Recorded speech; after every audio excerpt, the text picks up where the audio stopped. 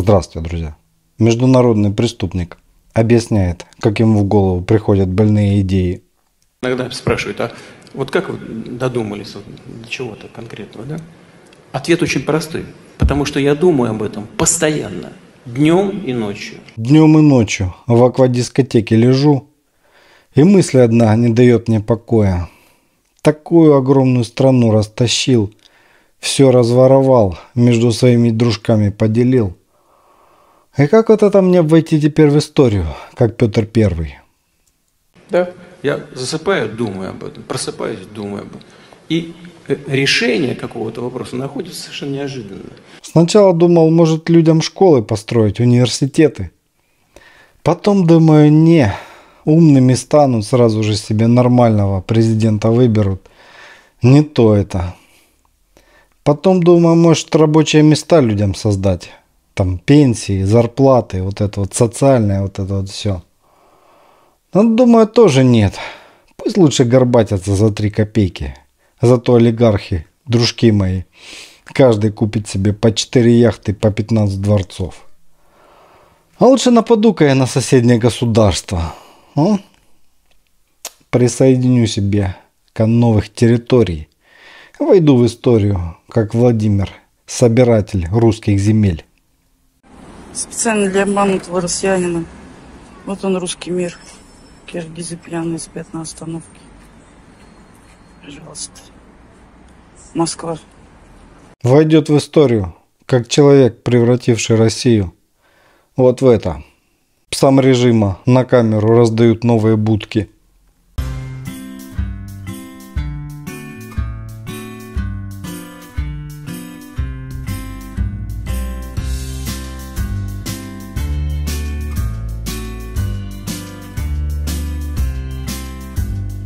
А почему москвичи, а не иномарки?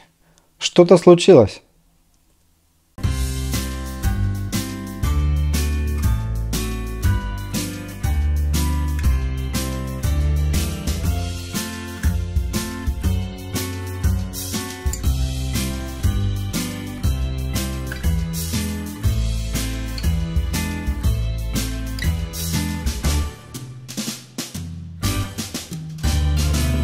Машины китайские, телефоны китайские, рации китайские.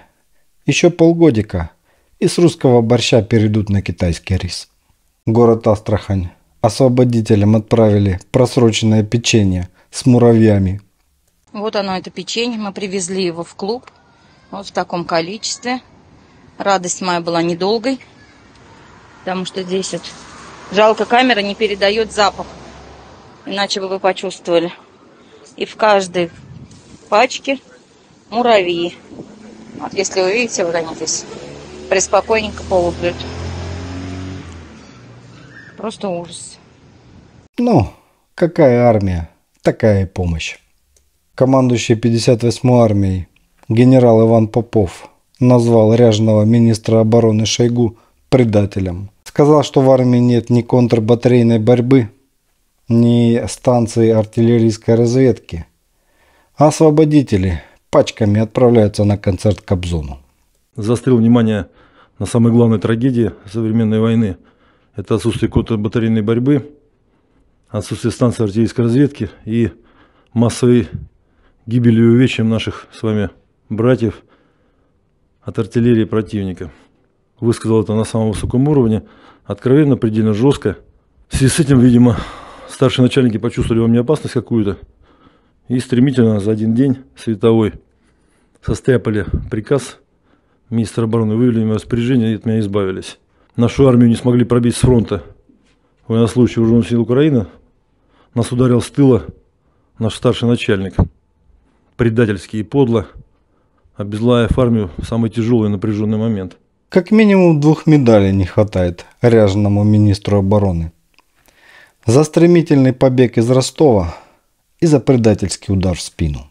Издание Wall Street Journal пишет, что кроме Попова и Суровикина, примерно 30 высокопоставленных военных уволены или дают показания за то, что попытались перейти на сторону повара, когда он шел на Москву. То есть Украина уничтожила 11 российских генералов, А Россия уволила или арестовала 30 российских генералов. Ну, хоть где-то первое место. Дорогие друзья, благодаря в том числе и интернет-магазину Гордон Shop мы смогли приобрести уже для наших вооруженных сил 60 дронов DJI Mavic 3 Fly More Combo. Дронов, которые так необходимы сегодня на фронте. Я обращаюсь ко всем. Заходите в интернет-магазин Gordon Shop – и приобретайте там все, что хотите, начиная от футболок с моим изображением, заканчивая книгами с моим автографом. А еще там есть конфеты Гордон в шоколаде, птичье молоко, а еще там есть яйца Гордона в шоколаде в золотой пирамиде, а еще там есть кружки, зефир и так далее, и так далее. Когда вы окажетесь в интернет-магазине Gordon Shop, скучно вам точно не будет. Покупайте мой мерч, приближайте победу Украины над фашистской Россией.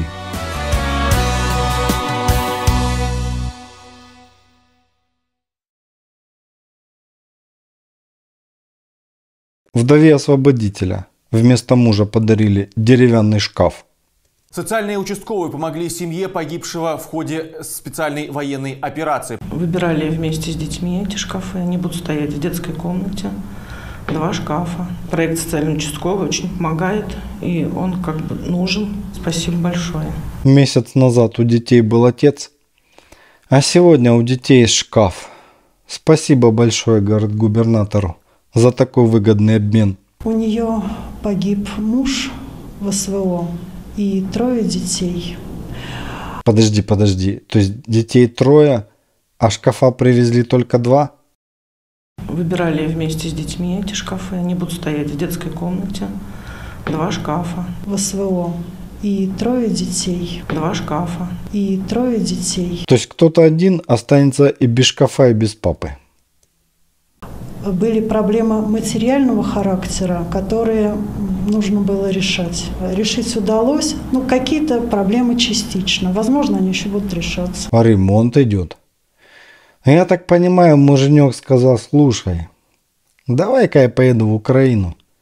Привезу нам стиралку, унитаз, газовый котел. Короче, заработай легкий деньжат. По-быстренькому сделаем с тобой ремонт. Впервые за 23 года. Вот на чужом горе сделаем ремонт. Вот заживем. Друзья, вот я нахожусь сейчас на парковке Леруа Мерлен. Это обратите внимание, какое гигантское количество табличек для парковки инвалидов. Да? Просто неимоверное количество. В одну сторону и в другую. То есть каждый ряд автомобильных парковок начинается с а, парковочных мест для инвалидов в обе стороны. И, внимание, вопрос. Откуда у нас такое количество инвалидов.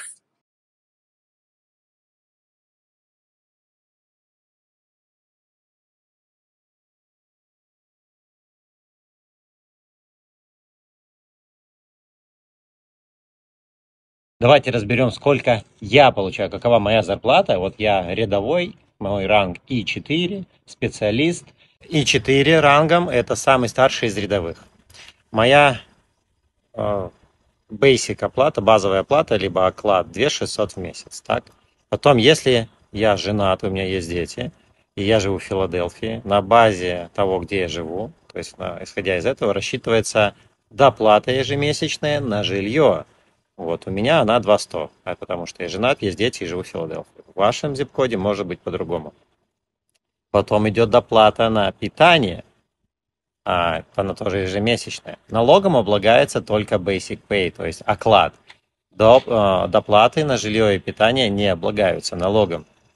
То есть итого в месяц зарплата рядового, старшего рядового получается 5190 в месяц э, на примере города Филадельфия. Вот эти оборванцы в пижаме, в шлепанцах и растянутых трениках поехали воевать, чтобы солдаты НАТО которые зарабатывают по 5000 долларов, и у которых все есть, не пришли и не захватили их деревянные туалеты. Не поняли? Не смеетесь? Не смешно? Это Россия.